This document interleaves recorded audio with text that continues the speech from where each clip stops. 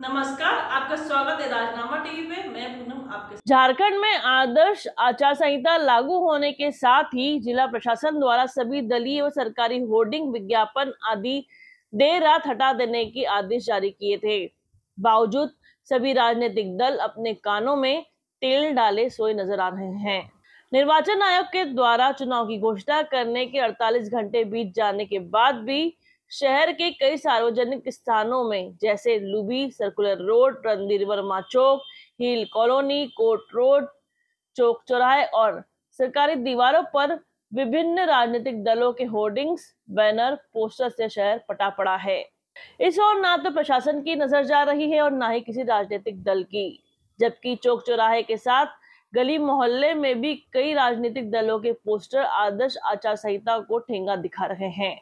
SDM Rajesh ने कहा कि आदर्श आचार संहिता के बावजूद भी कई राजनीतिक पार्टी अपने बैनर पोस्टर नहीं हटाए हैं। तो उन पर विधिवत रूप से आदर्श आचार संहिता उल्लंघन के तहत कार्रवाई की जाएगी।